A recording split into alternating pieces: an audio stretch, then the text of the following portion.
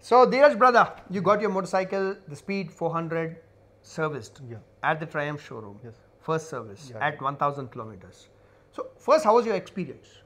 Yeah, the experience was nice. Actually, This is an Hyderabad showroom. Yeah, Hyderabad and uh, like Banjara Hills showroom. Hmm.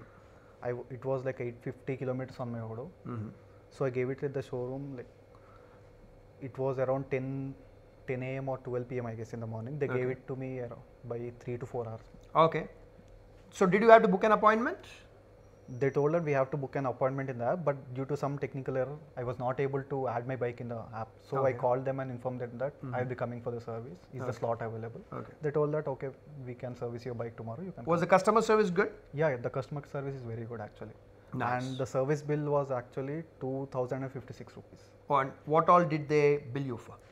It was the engine oil, majorly the engine co- engine oil costed around 1450 rupees. Mm-hmm. Chain lubing Mm-hmm.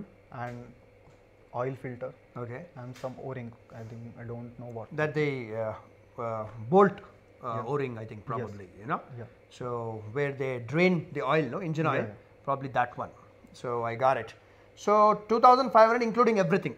2056 actually. 2,056. Yeah. Oh, okay, okay. Including everything. No labor charge, no, no service charge. Including labor charge and okay, but don't you get free services initially? I don't think so. I didn't have any information regarding that from it. Okay, because when you buy a motorcycle, first three, four services, you know, they don't They- generally add service charge. But Yeah. so you are happy about it. Yeah, I'm happy about it. Did they let you see the motorcycle when she was getting serviced?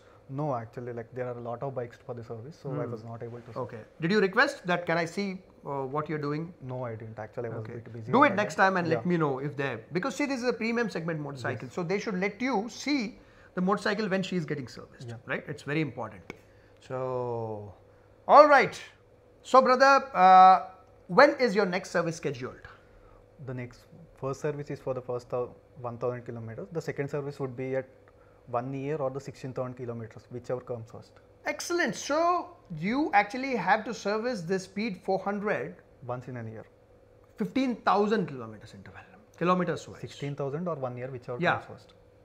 At 16,000, right? So 1,000 is already done. So interval is 15,000 kilometers interval, which is amazing, you know. This is good if you're into touring. Yes, and even for people staying in remote areas. Absolutely. Really good for them. Very good, very good. This is possible because of the fully synthetic oil Yeah. and high quality oil filter. Yes.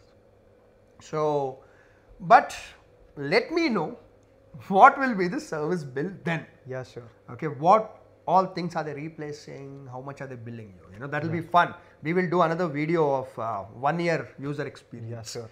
You know, awesome.